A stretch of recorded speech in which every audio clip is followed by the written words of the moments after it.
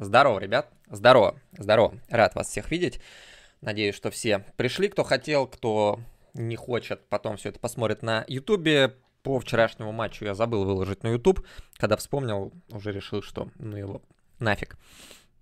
Вот, сегодняшнюю запись сразу тогда выложу, а, практически целиком, наверное, потому что сегодня будем просто болтать, будем а, много говорить про тренерский штаб, про решения, которые принимались Цорном, про работу Компера, про работу Цинбаура, и все это пытаться осмыслить. Ну и посмотрим на слухи, которые появляются. Появилось их довольно большое количество сразу, и, ну, честно, полное ощущение, что большинство этих слухов придумывается просто по угару, да, не даже не пытаясь в правдоподобность, просто по угару решили, типа, а, давай угарнем, ха-ха-ха, как смешно, давай попробуем, давай напишем, это по-любому растиражирует.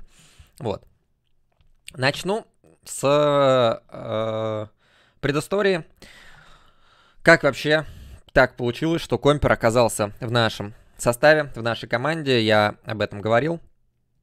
Но нужно понимать, как это все произошло и почему мне эта штука не нравилась. После того, как уволили Николича, Николича уволили в октябре прошлого года, Цорну понадобилось, Рангнику тогда еще понадобилось срочно найти тренера, и из всех возможных кандидатов, единственный, кто согласился поехать в Россию из тех, кого хотел Рангник, им оказался Маркус Гиздель. Маркус Гиздель изначально кандидатура компромиссная, да, это точно не первый выбор, это точно не то, что Рангник всегда мечтал поставить Гизделя во главе какого-нибудь клуба. Нет, это человек, который более-менее подходил Рангнику под ту модель, которую хотел Рангник привить. Гиздель э, был полностью человеком Рангника, абсолютно готов был выполнять все его хотелки. И, ну, собственно, немного просил и готов был работать без, э, ну, на годичном контракте, без каких-либо отступных, что после Марка Никлича было довольно важным фактором. Это первый компромисс, на который пошел Локомотив в назначении тренера. То есть это уже не оптимальное решение, которое только могло бы быть, да, когда ты увольняешь тренера, ищешь некоторое время э, более оптимальную кандидатуру и находишь, собственно, э, эту самую кандидатуру. Под Маркуса Гизделя начинают формировать тренерский штаб. Тренерский, в тренерском штабе должны работать тренеры, которые в целом на одном языке говорят с э, главным тренером, понимают футбол примерно в той же степени, как и Гиздаль, смотрят в одну сторону. У Гиздаля полностью собранного тренерского штаба нету, либо кто-то там не захотел ехать в Россию, у него там есть пара людей, которые с ним постоянно работают, и позвали Компера. Компер это тоже рангниковский человек, человек, который много играл в Лейпциге, в целом с рангником хорошо знаком, но Компер не является тренером. Компер на тот момент успел три месяца поработать помощником тренера в той команде, которой он закончил играть. Это команда там какого-то там третьего дивизиона Германии. В целом у Компера карьера более-менее, даже успел в сборной Германии засветиться, Лейпциг, а, что-то там еще было, Селтик, ну и заканчивал уже, доигрывал в Дуйсбурге, по-моему, так эта команда называется. Ну, знакомство с Рангником и поработать ассистентом у Гиздаля почему нет.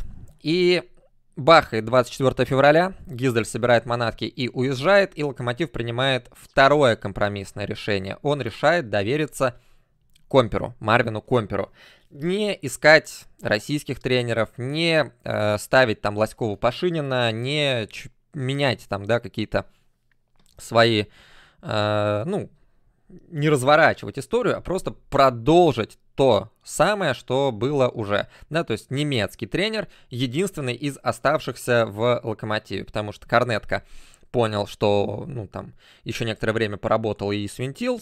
А, Гиздель уехал, там, Зибрихт уехал, и, ну, вот решили, у нас будет европейский тренер, но пускай это будет Компер. Но у него нет лицензии, поставим там сначала Пашини Лоскова, потом Хапова, когда Пашини Лоскова решили убрать ни с того ни с сего. Второе компромиссное решение, и мы понимаем, что, ну, когда вы первое компромиссное решение приняли, второе компромиссное, это еще ухудшение ситуации. Но дальше бахнул июнь месяц, а, время, когда Цорн уже мог, в принципе, да, вот у тебя уже есть время, ты мог эти три месяца потратить на то, чтобы найти тренерский штаб, который уже будет работать планомерно, нормально работать. Как Динамо нашло Юкановича, как Спартак нашел Абаскаля. И в целом, ну, как бы это нормальная история. В середине, после окончания сезона куча тренеров освобождается, можно их найти. И, ну, я там какие-то кандидатуры предлагал. Сегодня вот европейский паровоз тоже какие-то кандидатуры предлагал. Рене Ауфхаузер сидит без работы, Денис Бушуев сидит без работы. Можно было там довериться Мишаткину, э, который сидит с работой, но в целом ну, нормальная история поднять, как вот Краснодар поднял Сторожука, мы могли поднять Максима Мишаткина. Почему нет? Вполне нормальная история.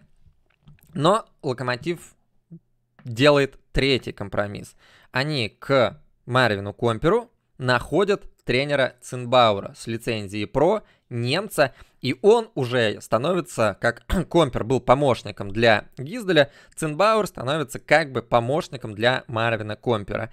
И, э, ну, когда вот у вас один компромисс наслаивается на другой, третий компромисс наслаивается на второй, но эта история, это уже изначально просто какое-то дичайшее ухудшение стартовых позиций. Все время пытаетесь исправить ситуацию вместо того, чтобы системно ее решить. Системно решить, просто назначить нормальный тренерский штаб, который будет нормально работать, с нормальной коммуникацией между собой, а так вы наслаиваете, э, как Компер будет общаться с Гизделем, непонятно, как э, Лоськов Пашинин будет общаться с Компером, как Компер будет общаться с Цинбауэром, везде какие-то, ну вот, трения получаются. Это крепкий, сбитый тренерский штаб, как вот, например, Юканович пришел, у него два своих специалиста. Абаскаль пришел, у него там два своих специалиста. Николич приходил, у него свои специалисты. Они четко понимают, кто чем занимается, кто как работает. И в этом, ну, это нормальная тренерская история, все так работают, все так делают. В итоге мы пришли к тому, что в «Локомотиве» двоевластие, Цинба... Цинбауэр главный тренер, все его представляют как главного тренера, и э, есть какая-то путаница среди болельщиков, но по факту решения остаются за Марвином Компером, и э, да, пускай там Цор на некоторых пресс-конференциях и говорит об этом, но таковы требования регламента. Говорить иначе просто официальные представители клуба права не имеют. Иначе их ждет штрафы, причем штрафы довольно суровые. А, за этим еще УЕФА следит, а не только Российский футбольный союз, поэтому там все строго стараются делать. Но мы видим то, что, вот честно, да, вот когда мы говорили про зимние сборы, все говорили о том, что ну какие-то легкие сборы, команда не бежит, но я смотрю на команду, я смотрю на футбольные матчи, я вижу то, что команда заканчивает эти матчи в атаке и вообще никому по физике, в общем-то, не уступает.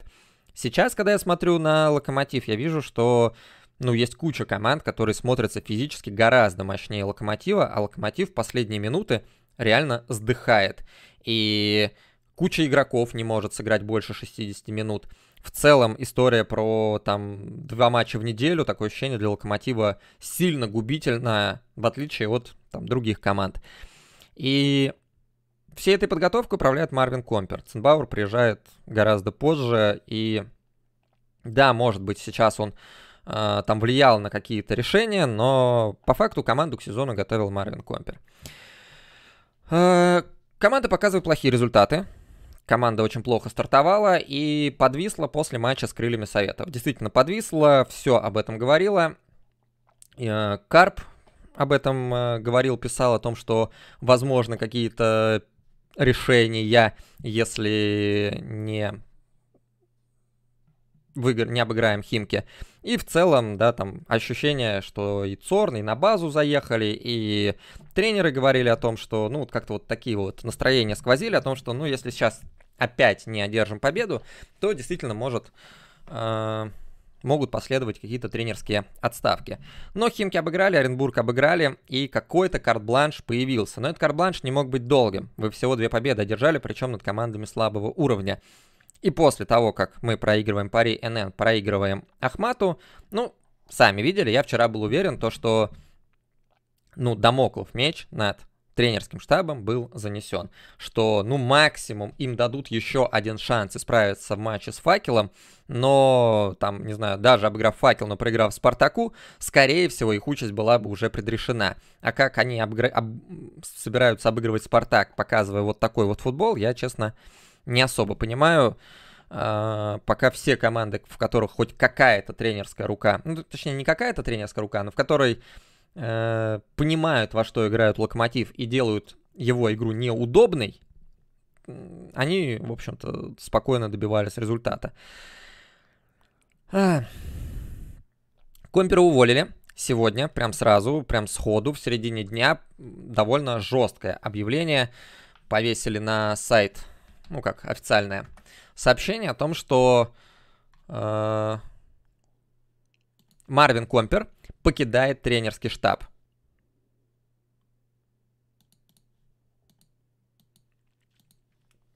Без фотографий Компера, без каких-то э, благодарностей, да, мы благодарим Марвина Компера за то, что он там не уехал 24 февраля, доработал, помог нам в развитии, ничего этого нету. Марвин Компер покидает тренерский штаб в связи с неудовлетворительными результатами команды.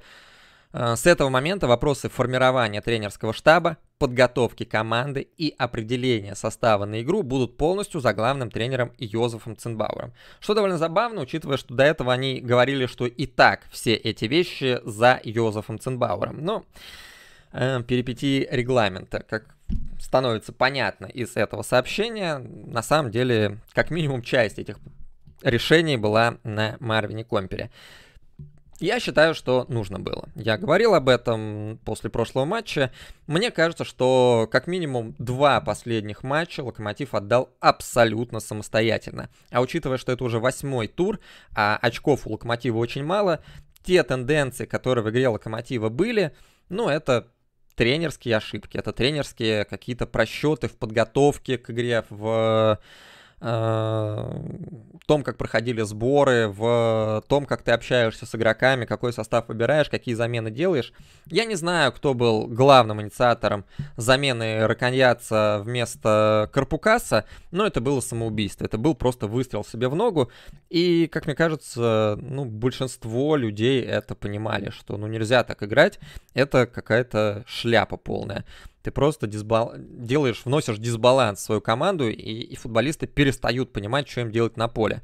До перерыва еще более-менее что-то как-то они пытались сделать, но после перерыва это просто ну, болтанка какая-то, абсолютное отсутствие структуры и какой-то системы в игре футболистов. Не понимаю, зачем это было нужно сделать, делать. И таких решений уже было много. Два матча Химки Оренбург стоят просто особняком. Два матча, в которых я радовался решением по составу. Я говорил, что ну вот, смотрите, оказывается, они умеют в матч-менеджмент. Они понимают, когда, на, на какой минуте кого менять, когда можно это делать, когда нельзя это делать. Получился матч, прошел матч с Пари и все как будто с чистого листа. И мы снова получаем какую-то, какой-то бред вместо э, нормальных решений. Здесь, конечно, огромную роль сыграли травмы, сыграли... Э, ну, у нас выпадает Нинахов, выпадает Исидор, не говоря уж о фасоне с э, Жамалединовым, на которых надеялись. Короче, у меня много претензий к, тренеру, я вам их описывал, я вам говорил, когда все игроки даже опытные футболисты, даже хорошие футболисты, про которых мы знаем, что они хорошие футболисты, да, там Антон Миранчук, Дмитрий Баринов, Стас Макеев, начинают творить какую-то хрень, какую-то чушь, а мы видели в последних матчах, что Макеев э, привозит на ровном месте голы, что Бару ловят на э, ложном замахе. Э, Лечь Судулаев. Ну, короче, мы видим, что они просто все, абсолютно все футболисты деграднули и стали играть плохо. Даже какой-нибудь там Исидор, который блестяще провел весну, провел межсезонье, предсезонку с э, Марвином Компером, и это не тот Исидор. И мы видим, что Исидор, э, ну, его мучила вот эта игра, он не понимал, что ему делать, он постоянно замедлялся, постоянно не понимал, какие решения принимать. И когда вот такое происходит со всеми футболистами, это вина тренерского штаба. И вроде как, вроде как в матче с Оренбургом я увидел просветы, что наконец-то начали работать вещи, которые будут работать в российской премьер-лиге, если делать более-менее регулярно. А потом матч по РНН, на него ставится второй состав, мы его проигрываем, и как будто откатываемся назад, просто на несколько туров назад – снова все футболисты забывают, что им нужно делать, и начинают пасовать, просто бить абы куда вперед. И это тоже приносит какие-то атаки, какие-то э, успехи, да, у нас там по XG мы на два гола переиграли Ахмат, но при этом умудрились проиграть 1-2 все это абсолютно несистемно, все это игроки реально смотришь на них, и такое ощущение, что они не, не понимают, что им нужно делать. Что, э, ну, идет атака Ахмата, и у ребят паника, потому что, ну, любая атака на их ворота может закончиться голом. А вперед, ну, они начинают играть, и каждое решение им нужно придумывать, что делать, куда бежать, куда пасовать. Нету четкого понимания, нету уверенности там, в своих силах, в том, что они это делали на тренировках 150 раз, и, ну, это точно пройдет. В общем, у меня главная претензия к Цорну была, и я ее передавал вместе с э, Ваней Нирваной, чтобы он спросил, чтобы, может быть, ну, я бы понял, если бы он объяснил, что в Марвине Компере сказала Цорну, что это специалист высокого уровня, за которого нужно держаться. Почему его не убрали? Ну, как не убрали? Ну, его могли просто сделать вторым тренером, реальным вторым тренером, да, каким-нибудь ассистентом при нормальном тренере, не э, Ширме, как Ценбауэр, который просто лицензия ПРО, но по факту помощник Компера. Реального тренера с реальным штабом, в который бы вошел Марвин Комперса с какими-то там своими идеями и продолжал учиться. Что Цорна заставила сделать на него ставку. Я при этом хорошо отношусь к Комперу, он действительно располагал к себе, он э, не уехал, он остался с командой, он всегда такой доброжелательный, добродушный, и, судя по всему, его в команде любили. Но это же все не говорит о тренерских качествах Компера, это же не говорит нам про то, э, может он команду э, игроков обучать, чтобы они росли, чтобы становились сильнее. Есть разные способы э, ну, становления тренера, да, как определить, что вот этот молодой парень может быть перспективным тренером. Он может работать с молодежными командами, да, он э, каких-то успехов с этими молодежными командами добивается, из-под, и работая с ним, вырастают какие-то сильные футболисты. Вот как, например, у нас есть Максим Юрьевич Мишаткин который уже вырастил нескольких футболистов, в том числе Артема Карпукаса, для основной команды. А так, в общем-то, уже очень много ребят и 95-го, 98-го и 2001 годов рождения работают, э, в России, э, играют в российской премьер-лиге. Э, можно было вот так вот, да, но у Компера нету истории работы с молодежными командами, просто нету. Его, его тренерский опыт это три месяца ассистентом. Бывает другая история, что он работает ассистентом у какого-нибудь сильного тренера, и работая с этим самым сильным тренером, он перенимает его знания и через год-два уже готов идти в самостоятельное плавание. Такого нету. Ассистентом он был в какой-то третьей лиге у тренера, чье имя невозможно запомнить. И, соответственно, в Локомотиве он работал только с Гизделем. Ну, Гиздель тоже там буквально там два месяца поработал, что он у него успел перенять? Ничего не успел. Бывает, что там, не знаю, прошел тренерские курсы, и весь преподавательский состав этих тренерских курсов говорит о том, что ну вот это вот, вот этот парень, он очень талантлив, он классно понимает футбол, все схватывает на лету, э, будет просто очень крутым. Да, такие вот немецкое поколение – оно все фактически таким вышло. Например, ТДСК считался очень перспективным тренером и, ну, собственно, можно сказать, что таковым и остался. Много разных бывает э, историй про то, как молодой тренер становится тренером высокого уровня, но этого ничего нет у Компера у него нету какой-то там выдающейся карьеры игрока за спиной, да, когда можно там Пирло доверить Ювентус, хотя тоже ничего хорошего из этого не выходит. но тем не менее, да, такие истории тоже бывают. Но Компер это просто человек, который три месяца работал ассистентом в Дуйсбурге, два месяца у Гиздаля, и вдруг главный тренер Локомотива. Я не понимаю. Да, еще одна история есть, как можно выбирать тренера. Это когда ты сам генеральный директор с, со стажем там 20-30 лет, все повыигрывал, что можно, и уже сам понимаешь, какой тренер хороший, какой тренер плохой. Но у Цорна нету такой истории. Цорн работает в футбольном клубе третий год. У него был год в «Спартаке», год в «Локомотиве», вот сейчас пошел третий год. Он не знает, он, у него не может быть никакой чуйки. Он не понимает, какой, как тренер, когда он работает хорошо, и какой тренер, когда он работает плохо. Почему он вдруг поверил в то, что может взять 40-летнего или там 30, сколько ему там лет, компера, который никогда нигде не работал, и увидеть в нем какую-то жемчужину тренерского мастерства, я вот этого не понимал, не понимаю, и, видимо, так никогда и не пойму. Потому что на вопрос, переданный мною через э, Ваню Нирвану, мне никто не ответил. Э, там была какая-то абсолютная нев- невнятица, и, по сути, Uh, да, там часть моего вопроса это была то, что, ну вот вы говорите о том, что хотите, да, какого-то тренера определенного стиля, и вы взяли Цинбаура, потому что его видение футбола абсолютно совпадает с вашим. Но, блин, футбол, который строил Гиздаль, футбол, который весной строил Компер и штаб там Хапова, Пашинина и Лоськова, и футбол, в который мы играем сейчас, это три абсолютно разных, ну не абсолютно, но очень сильно разных футбола. Где-то там у Гизделя супер прессинг. Весной мы от прессинга очень сильно отказались. Сейчас мы к какому-то такому гибридному прессингу пришли. И построения в атаке, они вообще очень сильно отличаются. Схемы очень сильно отличаются. Ну, то есть, э, ну, хаос какой-то. Вы выбираете тренера на обум. И действительно, действительно, Цорн, все то, что ответил на встрече, это то, что да, действительно тренеры очень сильно между собой отличаются, но мы считаем, что вот теперь прям вот так, как, надо. Но как надо и что это вот как надо, я так и не понял. Сейчас нам через Карпа пытаются продвинуть идею, что, ну вот, Компер не мог адаптироваться к тому, что у нас э, травмировались игроки, и нужно быть более такой оборонительной командой. Это полная чушь. Вот последнее сообщение Карпа это уже просто какая-то галиматья. И давайте я сейчас ее себе открою.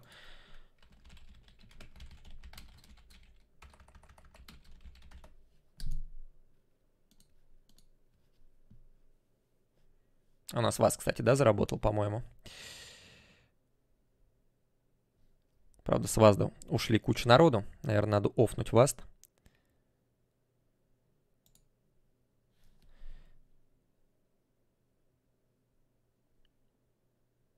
Чтобы не портить себе статистику. Или пускай будет. Ладно, пускай будет. Все равно этот стрим недолгий. Эм... Так.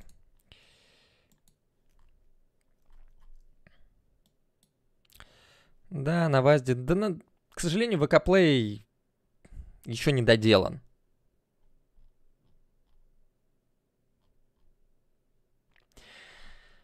Что пишет Карп? Давайте Карп пояснит по комперу, чтобы было понятно. Главный тренер Ценбаур требовал от Марвина готовить команду иначе и отказаться от концепции высокого прессинга. Если ты главный тренер Ценбаур и можешь что-то требовать от компера, то, ну, типа, каким образом Цинбауэр не может сам сказать, что он хочет от команды. Ему обязательно нужно, чтобы это Компер говорил. Уже здесь, в первом же абзаце, какая-то чушь выходит. Как будто главный тренер Цинбауэр выдает какие-то указания, а Компер ему не подчиняется и готовит команду отдельно. Так не бывает. Компер был главным тренером. Цинбауэр, возможно, ему предлагал эту идею, но Компер от нее отказывался. К сожалению, нынешний состав в силу объективных причин потерял Исидора, Жамалединова и Кухту, сразу выпала сыгранная тройка нападения, плюс после крестов фасона есть проблема в центре обороны, ну а травма Нинахова сделала Живоглядова безальтернативным вариантом даже при низком качестве игры последнего. Вторая чушь во втором абзаце. Сейчас трансферное окно открыто. И вы можете правого защитника найти на рынке. Если вас не устраивает игра Живоглядова, вы можете найти правого защитника, который бы устраивал Но вы находите левого защитника, вы находите Митая, который не может играть справа, он левша. Вообще даже слова нету о том, что вы ищете правого защитника. И Нинахов, при всем уважении к Нинахову, это не исправление ситуации, да, ты можешь как-то дырку заткнуть Нинаховым э, на позиции Живоглядова, но он не исправит тебе слабый правый фланг обороны, про который, ну, я лично уже года три твержу с момента покупки, собственно, Дмитрия Живоглядова. Имеющимся футболистам тупо сложно исполнять то, к чему их готовил Компер, поэтому Джо требовал от него изменить подготовку, но тот оказался не готов к этому, поэтому его и ушли. Если вы пытаетесь представить, что Цинбауэр и до этого был главным, а Компер просто не может исполнять задачи Цинбауэра, значит Цинбауэр не может объяснить, что он хочет. Объяснить, какие э, упражнения он хочет дать. Не, ну, в принципе, сам по себе не может настроить работу на нужный лад.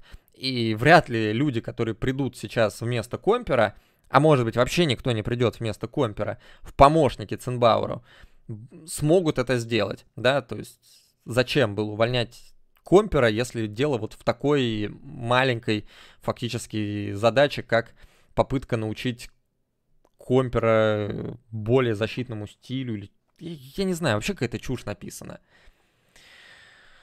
Э, тот оказался не готов к этому, поэтому его ушли. Руководство клуба устало от процесса обучения и требует результата. Отсюда и изменения на тренерском мостике. Но Цорна никто трогать не будет.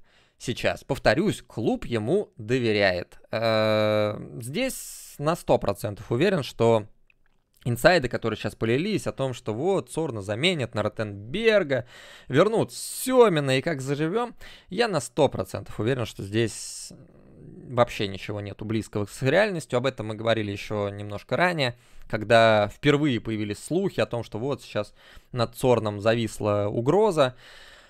РЖД плевать, на каком месте находится локомотив. Это надо понимать, что для РЖД важно, чтобы локомотив существовал, чтобы на локомотив ходили люди, чтобы э, более-менее какой-то такой позитивный фон был вокруг команды. И главное, да, на фон даже можно и наплевать, но главное, чтобы клуб не ел огромное количество денег непонятно на что. На победы какие-то, на чемпионство, на Лигу чемпионов, кому она нужна? Не тратьте лишних денег, пожалуйста. Если вы будете приносить эти деньги в казну, вот это будет отлично, но мы, РЖД и так много денег дает на какой-то локомотив, у них э, работники железных дорог постоянно плюются от этого локомотива, который непонятно зачем вообще существует.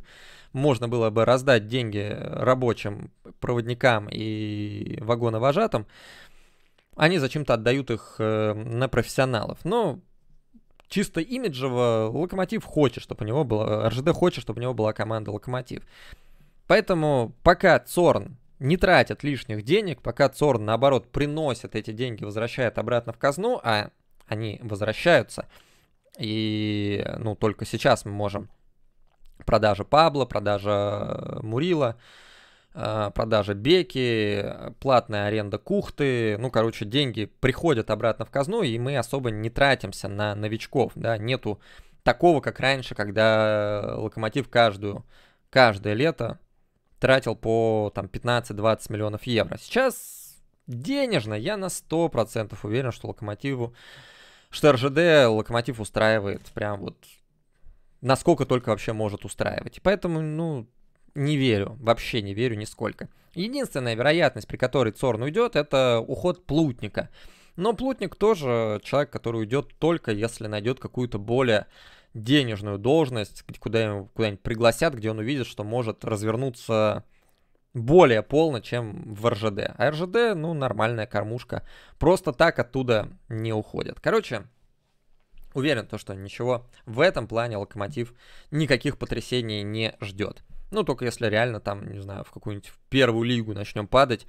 Но это тоже, как мы видим, нам не грозит. Уж команды типа Оренбурга, типа Химок мы разбираем даже в меньшинстве просто на классе футболистов. Да и Ахмат бы разобрали. Попади хоть раз мы нормально в угол, а не в шелью. это все никак не сказ... ну, это все никак не относится к тому, что тренеры сильные или слабые.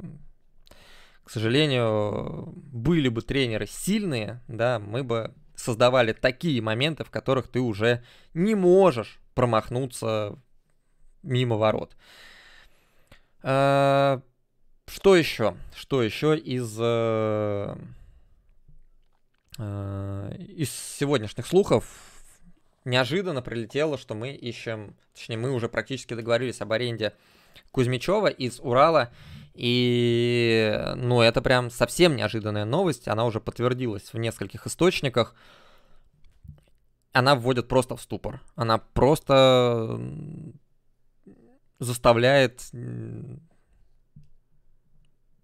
серые клеточки в голове двигаться и пытать, пытаться понять, что происходит, зачем это нужно.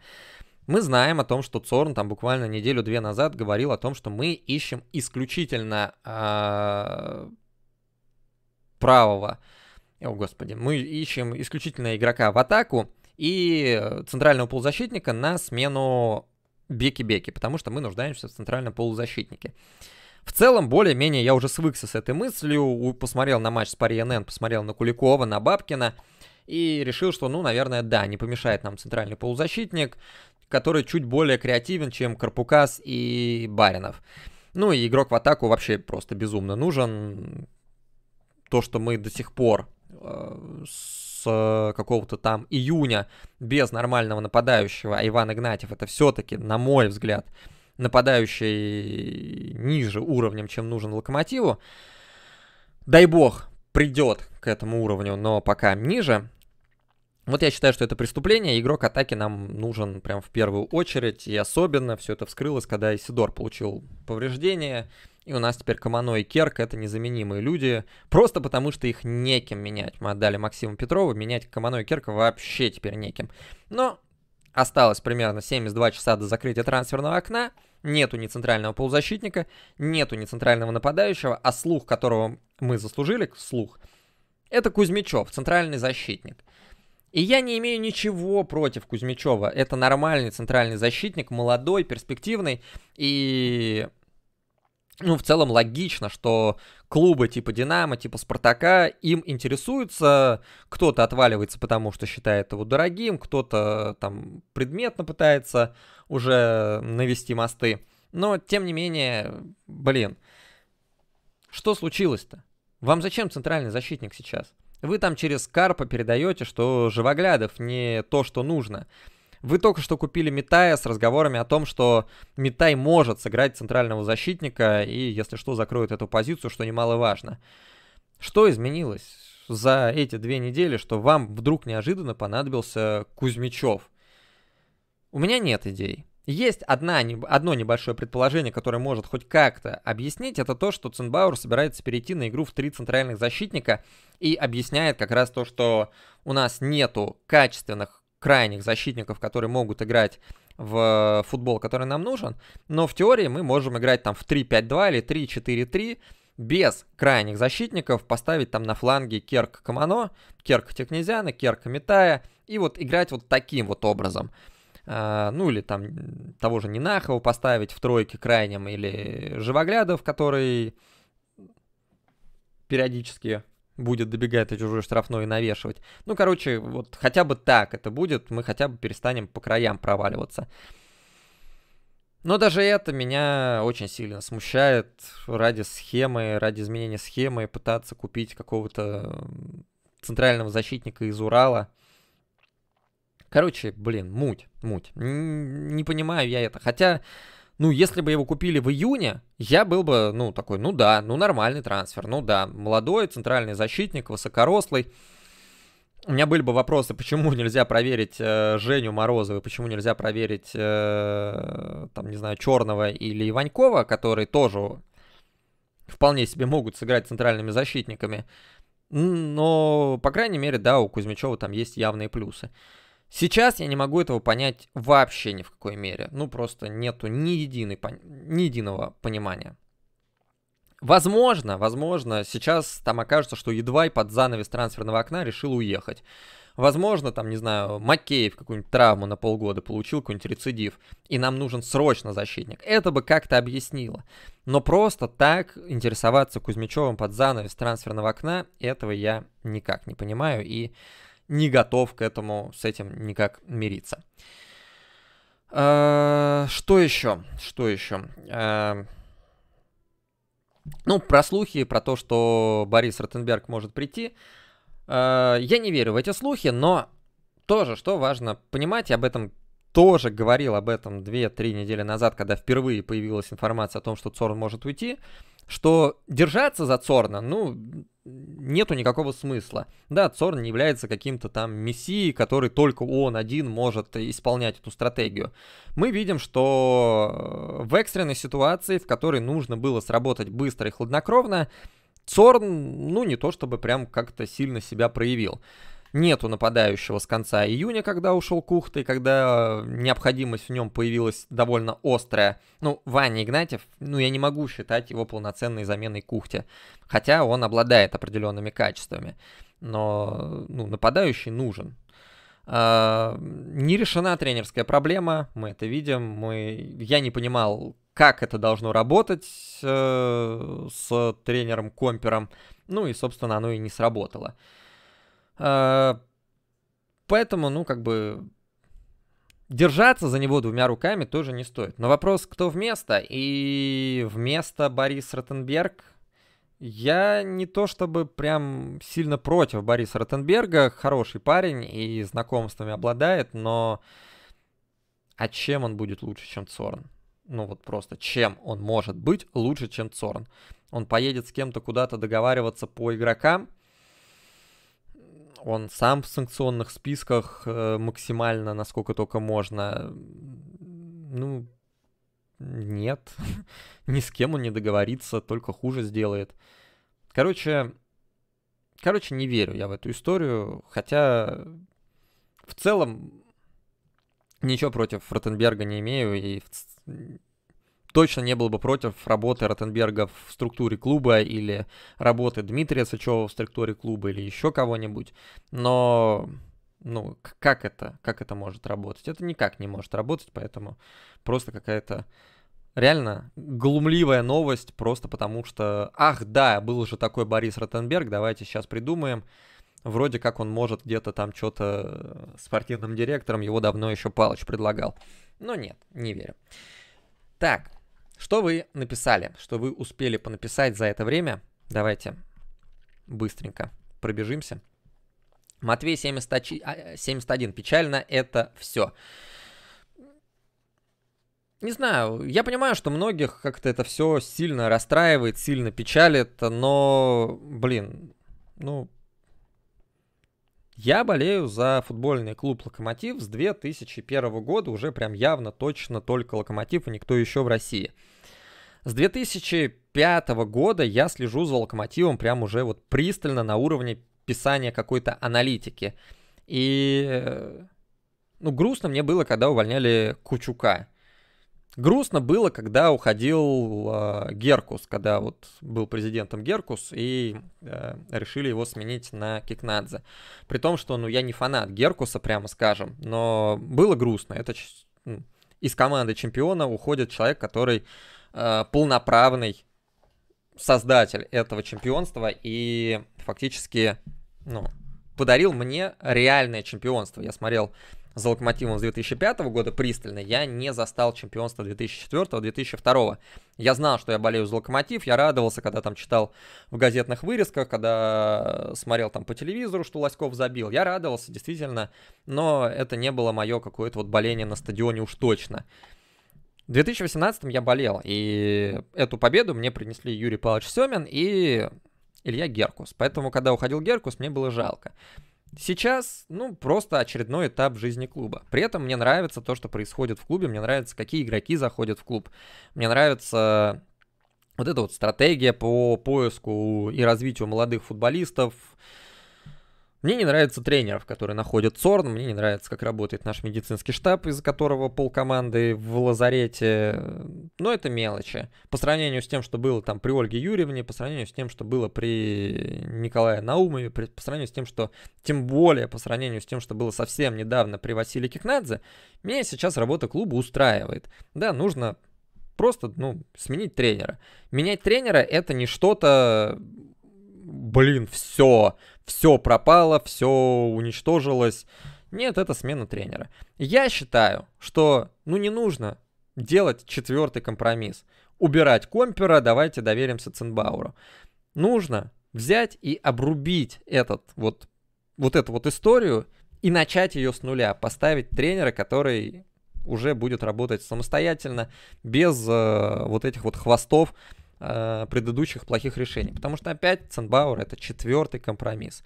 Я надеюсь, очень сильно надеюсь, что этот компромисс, он временный на то время, пока э, Цорн найдет тренера, пригласит его, договорится, он приедет и там примет дела, может быть, после матча со Спартаком, когда будет пауза на сборные. Я надеюсь, вот на это очень сильно надеюсь. Для меня сейчас будет очень важный маркер, это будет ли Ценбауэр делать свой собственный тренерский штаб. Или ну, ему достанется в наследство то, что было у Компера, по сути. Да, там Хапов, Март, э, кто там еще работает, даже никого не осталось уже. Все поуезжали. Вот. Э, если будет какой-то тренерский штаб, который сформирует Цинбауэр, да, там, допустим, вернет Лоськова с Пашининым, то, ну, значит, эта история надолго. И это будет опять четвертый компромисс. И эта история точно так же не будет работать, как и история с Марвином Компером. Потому что когда вы ищете изначально в плохих условиях, то вы и находите не лучшие варианты. Э, вот. Но в целом, ну, для меня это скорее позитивный момент, что Цорн там не держится за Компера э, мертвой хваткой, он это сделал и никогда не будет признавать своих ошибок. Как э, можно было бы ожидать, например, от Василия Кикнадзе. Нет, вполне себе быстрое оперативное решение. Э, был плохой старт, подвис Компер, было два хороших матча, дали ему, соответственно, время на окей, исправляй ситуацию, но после этого снова две плохих игры, все, вылетай. Это нормально, ну, на мой взгляд, это нормально, если, опять же, дальше будут адекватные решения по назначению тренера точно нету упаднических настроений вот сейчас у меня. Я, наоборот, когда совпадают с моими ожиданиями действия клуба, я наоборот воодушевляюсь. Ну потому что, блин, ну ничего себе, оказывается, в клубе могут принимать правильные решения. Может быть, и дальше будут правильные решения. Вот как в матче с Оренбургом, да, вот я посмотрел, и я предугадываю события, я воодушевляюсь. Ого, оказывается, ну вот мы можем так, тренеры могут так, классно. Потом по РНН, потом Ахмат. И ты думаешь, блин, ну неужели они с Оренбургом на рандоме просто эти решения принимали? Может быть, кто-то другой там это делал. Доброго времени суток, Гербок пишет. Пошли волнения. А столько было хороших ожиданий от этого всего немецкого. Ну, ожидания, они у меня лично, они продолжаются. Я... Еще раз, да, мне нравится то, что происходит в клубе, за исключением тренерских вещей. Более того, ну, типа, я понимаю, что проигранный матч с Ахматом не может быть э, показателем какой-то хорошей игры, но когда вот э, ты видишь вот такие вот цифры 2.14 на 0.58, ну, ну, это нормально. Ну, как бы с этими цифрами команда должна выигрывать. С этими цифрами команда показывает хорошие атакующие скиллы и при этом неплохие оборонительные. И Локомотив по Ундерстату, да, вот по этому показателю Expected Points, очки, которые ожидается, что наберет команда, находятся всего чуть-чуть ниже, чем Сочи, Спартак и ЦСКА. У Локомотива э, 13,3, у Сочи 14,4, 14,9 у Спартака. Ну, ладно, Спар... э, ЦСКА немножечко оторвался на 3 очка. Ну, вот Спартак и Сочи очень близко, в рамках там полутора очков. Локомотив не играет прям вот катастрофически плохо, да, вот как что прям вот все сломалось э, отвратительно ужасно. Но Локомотив не играет хорошо, и вот это нужно починить. И, судя по всему, Компер это починить не может. Ну вот в этом, к сожалению, большие проблемы и большие траблы. Вот, но все равно я...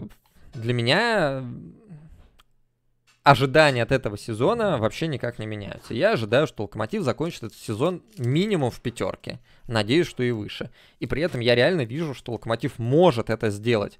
К сожалению, да, огромные проблемы с составом. И я... Меня сильно бесит, да, меня, наверное, даже больше, чем история с тренерами, бесит история с э, нашими травмами, что нам говорят о том, что у нас лучший медицинский штаб, но у нас Исидор, неудачно упав на плечо, пропускает месяц.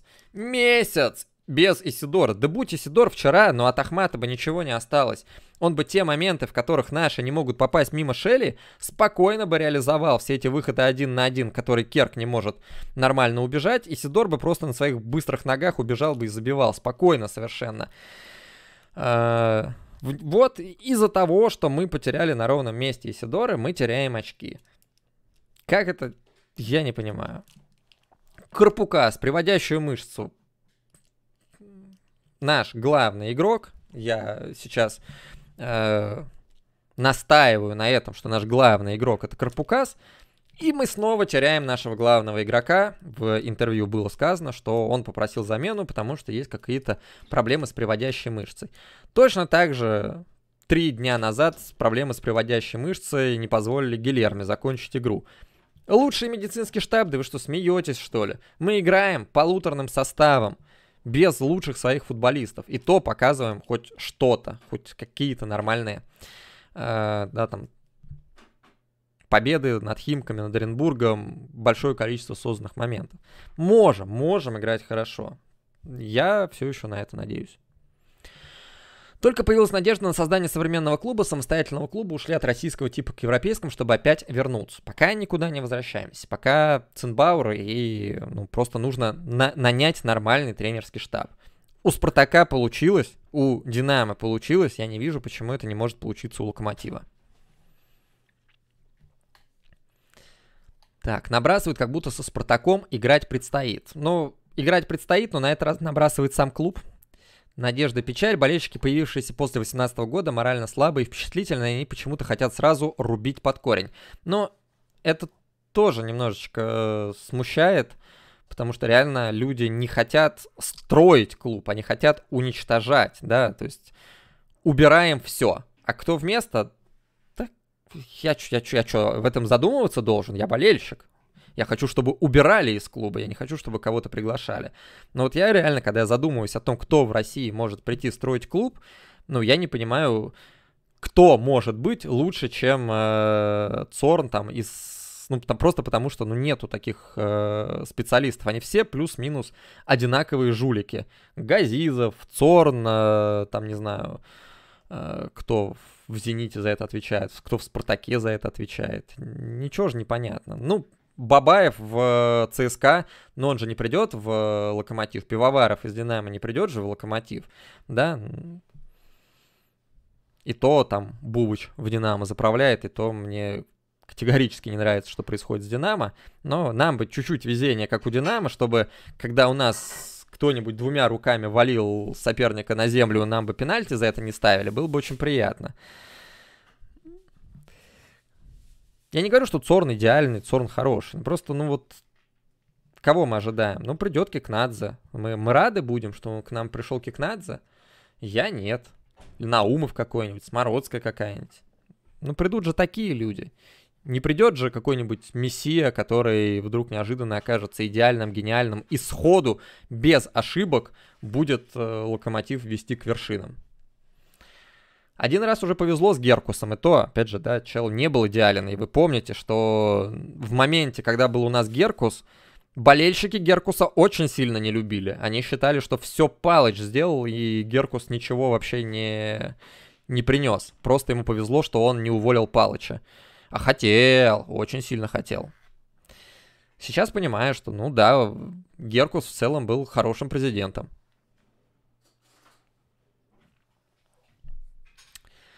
В нынешнем состоянии едва взять в аренду ЦЗ считаю хорошим вариантом. А ты как на это смотришь? Ну, я... Я не считаю едва слабым защитником. То, что все игроки Локомотива играют ниже своего уровня, не сделает Кузьмичева игроком сильнее, чем едва. Едва. Просто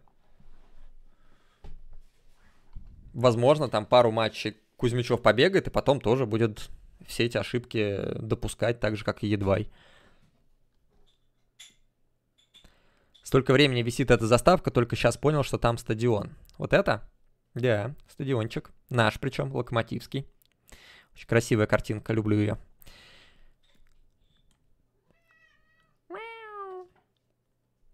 Что, приоткрытая дверь, которую ты не можешь открыть? Беда. А, думаю, точно можно сказать, что Плутник останется и Семина не будет. На 100% уверен, что Плутник сам не уйдет. Из РЖД его не уберут. Единственная возможность это если действительно Плутника переманит куда-нибудь, где ему дадут много денег, много возможностей для того, чтобы заработать. Но должность, которую он занимает в РЖД, она и так очень, очень деньгоемкая, поэтому сомневаюсь, что это произойдет. А если будет Плутник, то никаких Ротенбергов, никаких Юранов, никаких Осинкиных, все это просто можете в помойку выкидывать. Это не, этого не будет в Локомотиве. Очень напрягает ситуация, при которой уберут руководство. Трансферы нравятся, конечно, очень долго ведем долгожданного форварда, но, видимо, хотят хорошего парня привести. Мое мнение, тренеров нужно поменять, руководству дать еще время. Но вот смотрите, для меня сейчас э, решение, которое примет Цорн, это уже будет конкретно э, фактором, по которому я буду судить о Цорне. Да, пока я ему готов простить, что он там э, повелся на какие-то, не знаю, волшебство какое-нибудь цыганское компера, что тот ему задурил голову, и тот решил ему довериться. Окей, я готов. Но вот сейчас решение Цорна, это уже будет только его решение, никого иного. И каким оно будет, вот по нему я буду судить о Цорне. Потому что если он еще раз промажет, если он доверится Цинбауэру, Цинбауэр окажется слабым тренером, или он пригласит тренера, а этот тренер будет слабым, и это уже не будет, не будет никаких отговорок для Цорна. Это будет конкретно его решение, и оно будет снова неправильным, возможно. Возможно, будет правильным, тогда все окей. Но если оно будет снова неправильным, как и в случае с Компером, тогда это уже система, и тогда я уже буду... Э, это будет большим серьезным фактором против, э, против Цорна за то, чтобы его сменить, либо, по крайней мере, да, урезать его полномочия и отдать найм тренера кому-нибудь еще.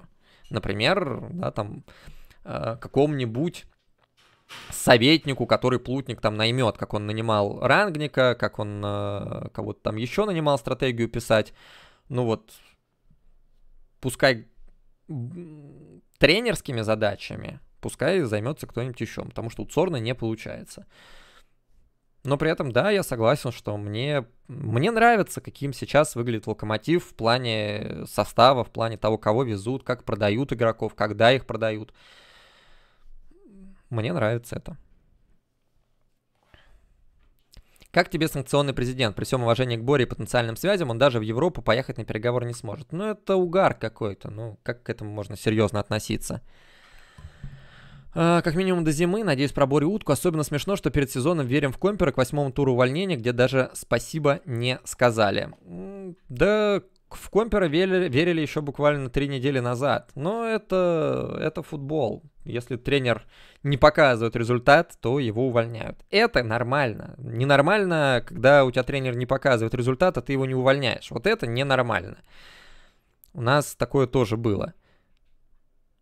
Если бы сейчас Цорн двумя руками держался за Компера, ну, я бы этого не понял нужно было, сейчас нужно, нужны были перестановки в тренерском штабе. Я говорил об этом две недели назад, но тогда случились химки, и э, запирание на базе оказалось нужным встряхиванием для того, чтобы команда заиграла. Но ненадолго. Вот сейчас уже будет встряхивание через тренера. Это вполне может сработать просто само по себе, даже если Цинбауэр не является каким-то гениальным тренером. Что опять же говорю, что футбол у Локомотива, как это не парадоксально, он работает. Если не менять Карпукаса на Раконьяца, вообще нужно быть гением, чтобы додуматься до этой замены, не э, травмировать своих лидеров, то все более-менее у Локомотива будет нормально. Нужно вот встряхнуться и начать играть в полную силу.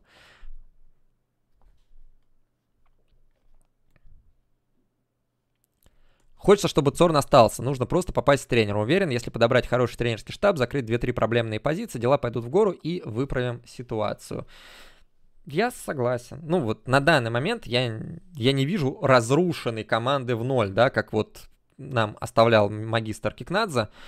Э, команда, в которой ничего нету, нужно все менять, все латать, находить каких-то новых игроков. И э, там слава Николичу и слава тому же новому руководству, которые смогли это сделать. Что мы выбрались с того подвала, с восьмого места в тройку. Но сейчас мне кажется, что команда вполне себе бегущая, вполне рабочая.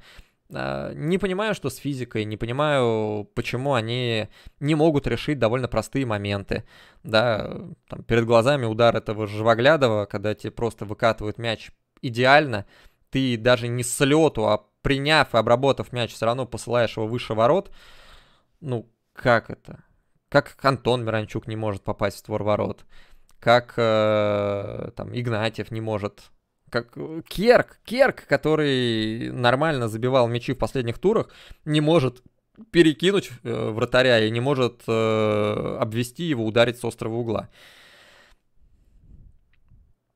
Ужас. Если уберут Цорна, то, скорее всего, поставят временщика типа Кикнадзе, который опять начнет привозить всякую дичь из РПЛ, Беларуси и Казахстана. Но вот да, вот это моя боязнь, что в РЖД нормальных управленцев нет. И если кого-нибудь нам спустят из РЖД управлять локомотивом, ну не будет ничего хорошего из этого. Ну прям вот точно не будет ничего хорошего. Мое субъективное мнение, в зиму клиперы попрут. Сорна надо урезать до спортдира с минимальным влиянием на выбор главного тренера и необходимостью быть не над ним, а работать в связке.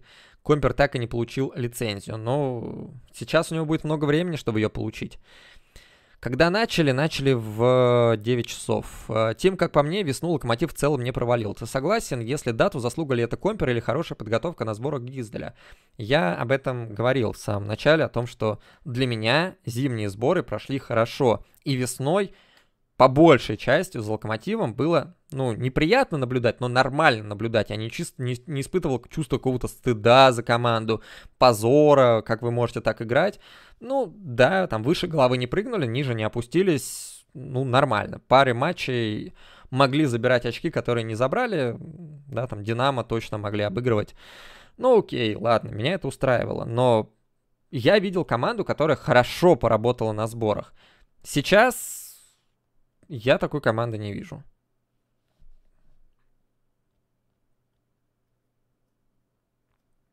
Сейчас мне кажется, что команда очень сильно проседает по физподготовке.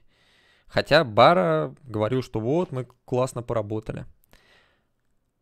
На самом деле странно это. Разве это не дело клуба, кто его тренирует? Есть лицензия? Нет. Может, я хочу, чтобы Вася из соседнего подъезда тренировал мой клуб. Как же я, как я могу поставить состав Валеру, который живет этажом выше меня? Ну, УЕФА это контролирует. УЕФА важно, чтобы люди обучались на тренера, люди проходили подготовку, получали эти самые лицензии.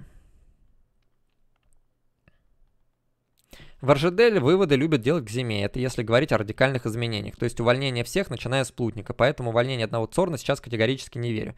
Не будет увольнения Плутника. Не будет.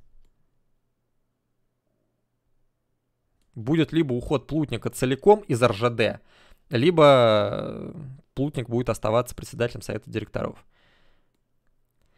Деградация футболистов то, что сильно бросается в глазах. Мне кажется, при Балыче, Бара, Антон и Мага будут топовыми. Он знает, как их мотивировать.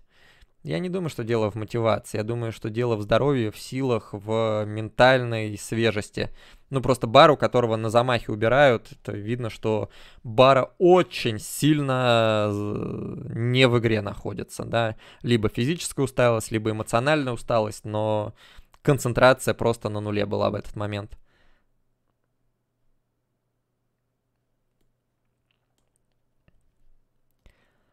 Компер был удобен. Покупай кого хочешь, схавает и слова не скажет. Чуть Николич сразу пару опытных попросит. Тогда зачем Компера увольняли?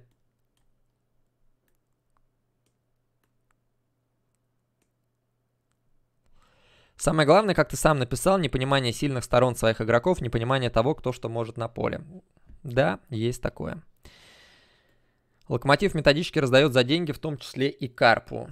Я думаю, что вы не очень понимаете, как это работает. Не офы я тут смотрю. Ну, тяжело вам, наверное. Так, Евгений Михнев, раз, два, три, фан, оп, о, тут хоть в трансляцию на ТВ можно. Что за уровни подписки? Это Boosty, это Boosty, мой Boosty, можете подписаться на Boosty. А, собственно, никаких особых плюшек, кроме того, что, собственно, на Бусте происходит, вы не получите для ВК Плея, но, собственно, никаких особых плюшек, кроме того, что... О, господи, опять я навел мышку и сразу, появ... сразу звук врубился. А тут что, запись остается? Нет, записи здесь не будет, но запись я выложу на YouTube. Э, ты фанат Черного плаща? Я очень люблю мультфильм Черный плащ. Черного в Химки продали зачем-то. Это правда. Ну, не продали, просто не продлили с ним, с ним контракт, и он ушел в Химки. Но это вопрос, просто вот у вас есть сильный защитник Евгений Морозов, у вас есть достаточно сильный защитник Артур Черный, уровня российской премьер-лиги игрок. Но вы от них двоих избавляетесь, от двух защитников уровня российской премьер-лиги, и теперь хотите в аренду взять другого игрока из подвала российской премьер-лиги. А зачем? Ну, не, не, не логичнее ли было бы просто оставить Морозова у себя? Я думаю, что слух про Кузьмичева на уровне слуха про Юрана, то есть Утятина. Ну, в отличие от Юрана, это слух подтвержденный из нескольких источников, включая агента непосредственно Кузьмичева. Так что какие-то там движения идут, но не факт, что эта сделка срастется, да. Денежные вопросы никто не отменял, а они, судя по всему, в Кузьмичевском деле довольно важные. Плюсую, Кусейру тоже был неплох, Кучук тоже норм. Ну вот, два моих любимых тренера Локомотива того времени. Во всем виноват Кикнадзе, надо ему что-нибудь плохое сделать. Но он не во всем виноват, просто это, ну, это управленец низкого уровня, который каким-то образом попал в локомотив. Ну, человек вообще не понимал, куда он попал и что ему нужно делать. Это просто, ну, не по сеньке шапка. Не хочу ничего там наговаривать на Кикнадзе, потому что свечку не держал, не знаю за его какие-то темные дела, были они или нет. Но как управленец он не справился с задачей.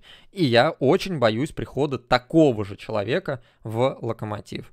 Потому что, ну, сейчас, по сравнению с тем, что было два года назад, ну, просто небо и земля. Это не говорит о том, что нельзя хотеть лучшего, да, хотеть можно и мечтать можно о лучшем, но боязнь это у меня определенно присутствует. И я думаю, что если убрать Цорна, убрать Плутника, как все мечтают, придет Кикнадзе. Кикнадзе 2. И нам всем станет плохо. Вплоть до того, что клуб может и закрыться потому что это будут траты денег, это будет попытки исправить ситуацию покупкой дорогостоящих футболистов на дорогих контрактах, которая приведет к тому, что РЖД скажет, да вы заколебали уже тратить наши деньги, идите к черту, у нас остается одна команда, составленная из выпускников Академии, и все, и больше ничего.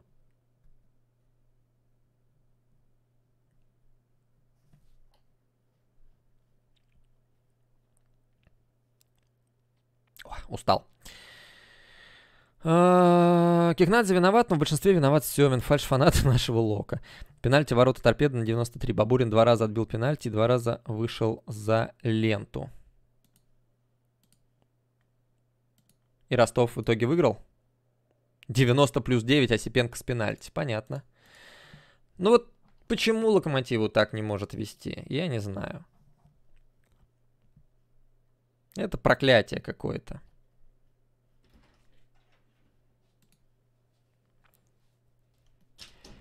Система координат английских топ-клубов. Раздавать своих воспитанников за бесценок, которые потом без проблем играют в Фулхамах и Борнмутах, а сами из подобных клубов покупают за x10 цены подобных игроков, которые потом также сидят на скамейке, но надежда есть, что именно этот очередной выстрелит и все окупит.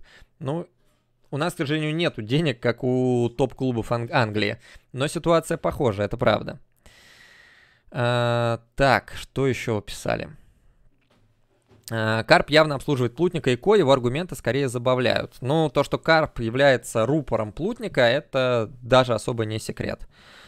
Влада Игнатьева можно вернуть, будет не хуже Живогляда. Ну, к сожалению, Игнатьев, судя по всему, закончил с футболом. Сельянова вернуть можно, но мы много уже спорили по Сельянову, я еще 15 раз повторяться не буду. Я не считаю Сельянова футболистом сильнее, чем Живоглядов или Нинахов. Моложе, да.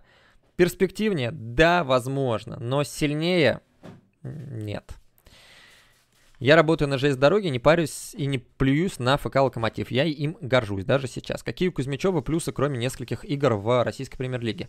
У него хорошая стата была по прошлому сезону.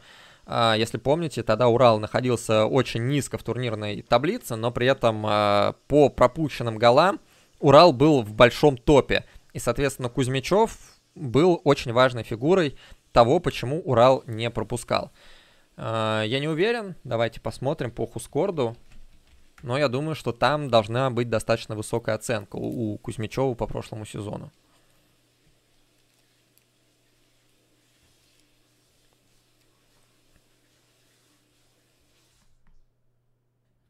Ну давай, работай, Хускорт.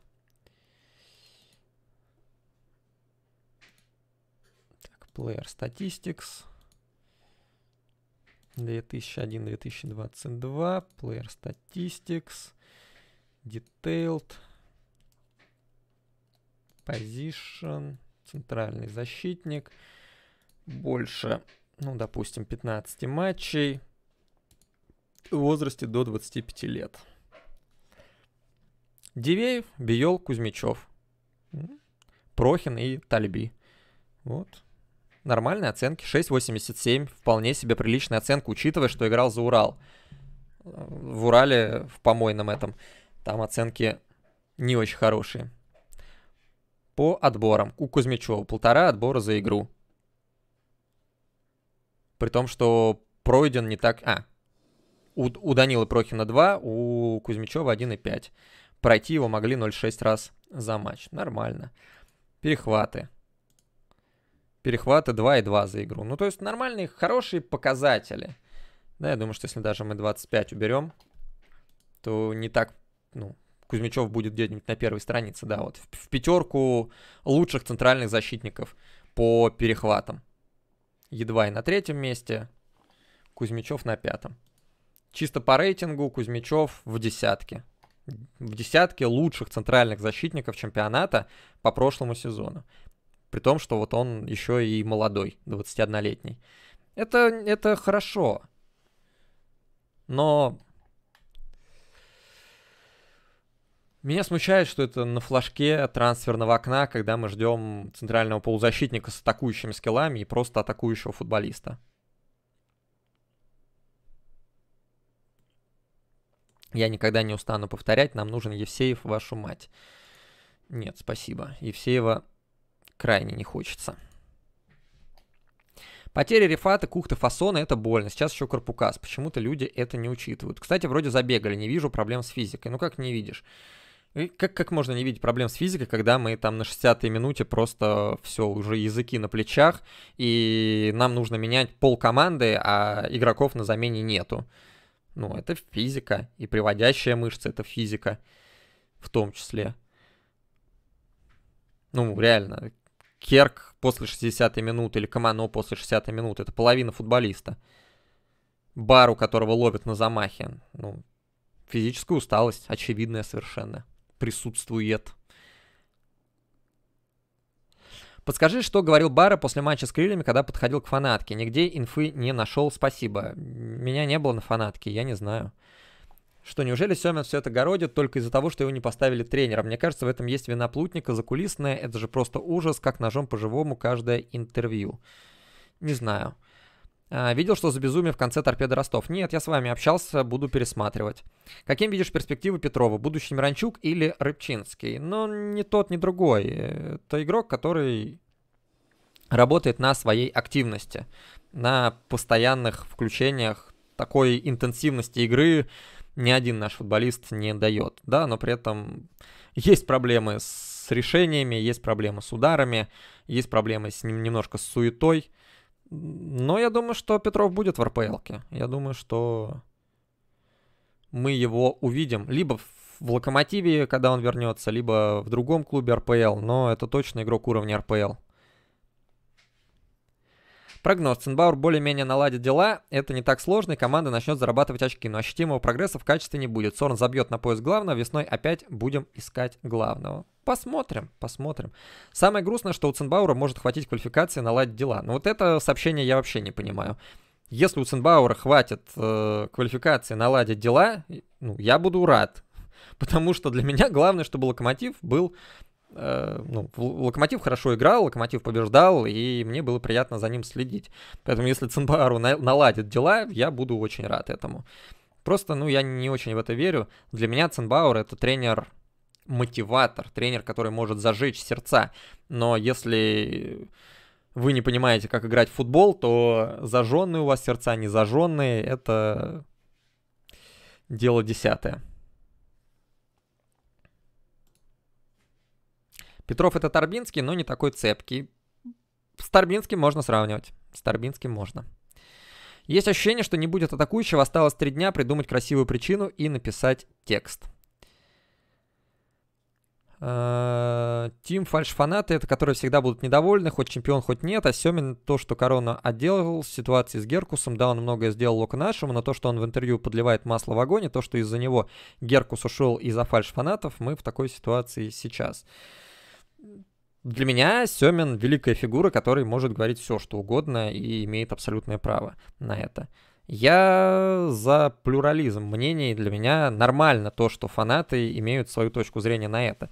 Меня немножко раздражает, когда фанаты начинают транслировать чужое мнение, и ты начинаешь их спрашивать и пытаться, ну вот, выудить какое-то вот их мнение, поговорить с человеком, а ты, ну, общаешься с телеграм-каналом. И, ну, ну вот это раздражает, потому что болельщики не хотят думать своей головой и какие-то там моменты понимать, принимать. Но то, что у болельщиков, когда болельщик сам готов аргументировать свою точку зрения, ну, она имеет право на жизнь. Я всегда говорил, что футбол — это квантовая дисциплина, что в футболе могут две полярных точки зрения существовать и обе быть правильными. Это уникально и удивительно. За это в том числе люблю футбол. И за, поэтому футбол рожа, рождает такое количество споров. Да, 10 лет люди спорят, кто круче, Роналду или Месси. 10 лет. Да в любом другом виде спорта, ну, кто пробежал 100 метров быстрее, тот круче. В спорте просто 3 миллиарда за Роналду, 3 миллиарда за Месси, еще 2 миллиарда за китайца какого-нибудь.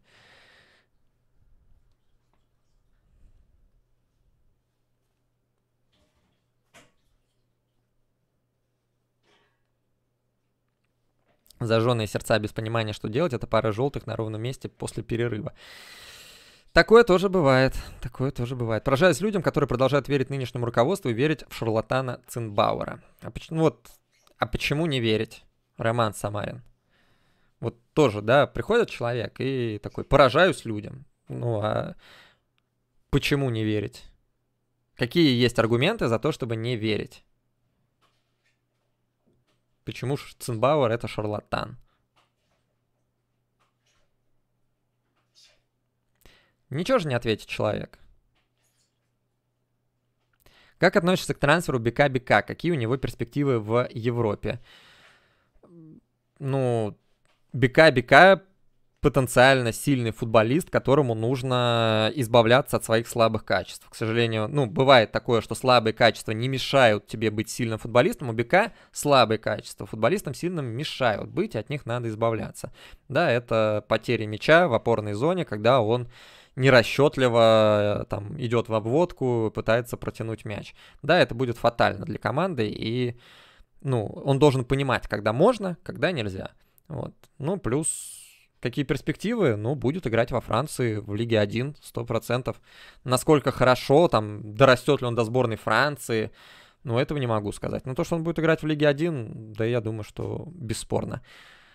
Там много кадров, которые играют в Лиге 1. Заценбауэр говорит его прошлое и то, откуда мы его взяли. Из Бундеслиги? С Цорном то же самое. Из Спартака? Действительно. Ценбаур тренер Бундеслиги. Ценбаур, э, по-моему, с Карлсруэ несколько чемпионатов молодежных выигрывал. Типа это плохо? Это знак того, что никогда в жизни ничего не получится? А Баскаль? А Ванолли? А Каррера? А еще миллион тренеров, у которых ни хрена не было в загашнике. Они шарлатаны? Интересно.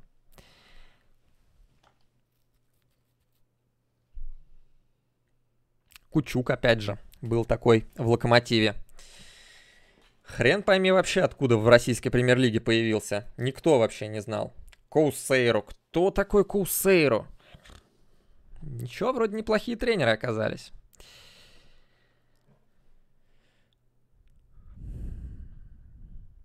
Губерниев. Юрий Семин вновь в Лока. Хорошо. Вот что значит вовремя поднять проблему ужаса в менеджменте команды. В целом звучит логично. Менеджмент команды, Семин. А Зидан? Что Зидан? Зидан как тренер был тренером Кастилья. Это тоже к вопросу о том, что ну какой-то опыт должен быть и Гвардиола, и Зидан, и все вот эти вот истории про легенды клуба, которые становятся тренерами, внезапно у них обнаруживаешь, что они хотя бы с молодежными командами работали. Цинбаур уехал в ЮАР тренить, а что же не остался в Бундеслиге и не пошел на повышение? Может, нафиг там никому не сдался? А в чем проблема Южной Африки, чемпионата ЮАР? Я удивлю, но чемпионат ЮАР в мире ценится примерно так же, как чемпионат российской премьер-лиги. Примерно и там, и там э, европейцы смотрят на местных, как на папуасов. Поэтому, ну, странно судить о тренере, что он поехал работать в ЮАР, где он в целом отработал очень прилично с командой, которая до этого миллион лет ничего не выигрывала, провалилась, и тут вышла на там второе, по-моему, место. ЮАР, Катар, Китай, туда, мне кажется, едут доигрывать. И Россия. Роман Самарин. И Россия тоже такая страна, куда едут доигрывать и зарабатывать. Поэтому давайте будем честны. Если, игрок, если тренер в принципе согласился поехать в Россию, и это не серб, да, сербы отдельная история. Сербы на Россию смотрят как на возможность заработка, да, если это евро... западноевропейский тренер, то для них Россия это, ну, то же самое. Придерживаюсь политики хотя бы Динамо последние два тренера. Ну, Шварц. Шварц такая же помойка, как Ценбауэр и Гиздаль. Помойка бундеслиговская, который миллион лет не работал после того, как его выгнали из э, Майнца с позором, как одного из худших э, тренеров вообще в истории Майнца. Если посмотреть, у него там минимальный набор количества очков за, э, э, за игру. Его выгнали, он там год или полтора не работал, его подобрал э, Бувыч просто потому, что, ну, иначе Шварцу вообще негде было работать. Ну вот. Та же история у Гизделя, та же история у э, Ценбауэра. Потому что они не нужны нигде, вот эти западные европейские тренеры. Но они приезжают в Россию, они оказываются, что они что-то умеют. Потому что российская тренерская школа, извините меня, это отстойник. Мы играем в футбол 20-летней давности. И неожиданно, когда мы еще играли в Европе, неожиданно российские команды что-то всасывали дичайше любому европейскому тренеру. Хоть Ракова, хоть э, кого там еще было. Ну, Спартак отдельная история. Спартак сила. Спартак дошел до 1-16 финала и выиграл бы Лигу Европы, если бы не трагические события. Но это не меняет тему. Европейские тренеры европейская тренерская школа, немецкая тренерская школа, если ты работал в Бундеслиге, а они работали, и Гиздаль, и Ценбауэр вполне себе успешно работали, сохраняли там прописку для команды, для своей. Ты все равно будешь сильнее, чем российские аналоги, так сказать. в Динамо. Вам нравится, что происходит в Динамо? Юканович это хороший тренер. У них отскок на отскоке просто. Им пенальти не ставят, ну, настолько явный, насколько, ну, ну, невозможно не заметить этот пенальти. Они смотрят как дураки в этот монитор, и оказывается, это не пенальти. И это против мертвого Урала. Против команды, которая вообще не умеет в футбол играть. И вы мне ставите Юкановича в пример, что вот такого тренера надо.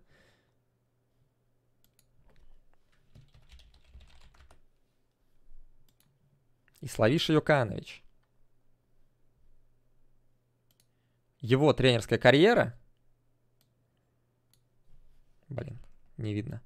Она выглядит вот так вот. Тренерская карьера. Муангтонг Юнайтед, ёптать. Таиланд. Чел работал в Таиланде, в Болгарии, в э, Израиле, в Альгарафе, катарский клуб. И вы мне говорите о том, что надо быть как Динамо. Ну, круто. Только я вообще не вижу разницы между Динамо и Локомотивом в решениях, которые они принимают.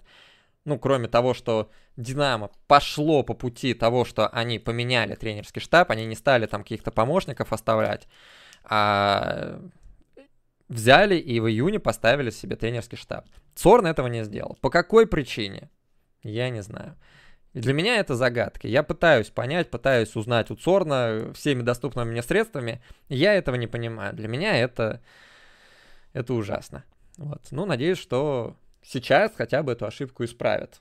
Пока, пока у нас Цинбауэр. Пока это продолжение той же самой ошибки, которая тянется еще там с год назад. Надеюсь, исправят. Надеюсь. Но пока нету такого. Гол Влашич.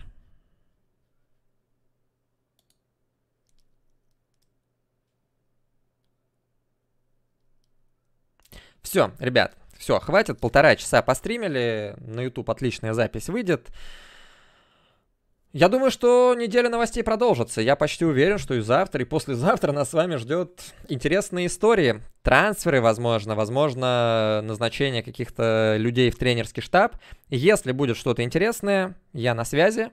И будем с вами встречаться. Надеюсь, что вас больше нас не подведет, что мы сможем там э, постримить и дальше. Ну а на сегодня все. Спасибо большое. Какой бы ты выбрал вариант продолжения? Цорн работает и приводит ТДСК или приходит Бори и начинаем по новой? Ну, Цорн и ТДСК, естественно, для меня гораздо более интересный вариант, чем Бори и по новой. Э, ТДСК не самый мой любимый тренер, но это, по крайней мере, тренер, в отличие, опять же, от Компера. И гораздо более успешный, чем Ценбауэр но мне не нравится стиль ТДСК. Ну, по крайней мере, это будет что-то похожее на футбол. Вот. А от Бори я вообще не знаю, чего ждать. Я готов был бы посмотреть на Борю под руководством какого-нибудь там того Геркуса какого-нибудь, под руководством там э, нормального, сильного руководителя. Вот. Но просто Борису, который дать все полномочия и завязать на него все процессы для Локомотива, это будет плохо. Для Локомотива это будет попадание под санкции. Все. Теперь точно все.